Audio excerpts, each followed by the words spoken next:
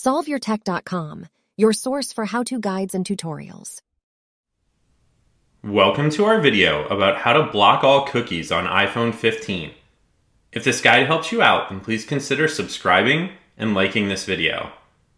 If you would like your iPhone to start blocking all of the cookies that websites try and place on your device, then you can do so by opening the Settings app.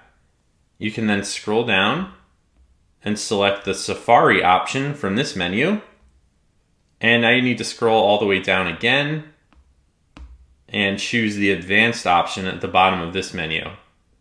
Now you just need to find the block all cookies option in the advanced section and you can tap the button to the right of that to turn it on. Now you can select the block all option to confirm that websites may not work if you do this and that it will remove existing cookies and website data. Safari will also quit and your tabs will be reloaded. So if you're okay with this, then you can just tap block all and then your iPhone will start to block any cookie that a website tries to place on your device. Make sure to like this video and subscribe to our channel to see more tech guides like this one. For additional information on this topic and to read the entire article, click the link in the description to visit solveyourtech.com.